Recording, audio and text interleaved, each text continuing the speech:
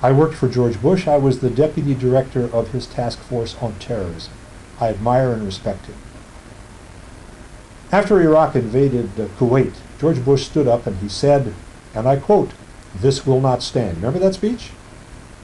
And he said, and I quote, the United States opposes Saddam Hussein because he's a dictator, and the United States always opposes dictators. What? Oh, the United States has often opposed dic- what? Uh, there are several dictators we've opposed. Have we always opposed dictators? No. When do you go along with dictators? When you perceive it to be in your national interests. And then he said, George Bush, not only that, but Iraq has taken territory by force. And the United States never permits countries to take territories by force. What?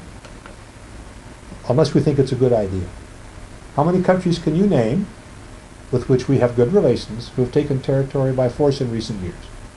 Turkey? Israel? Morocco? China? Indonesia?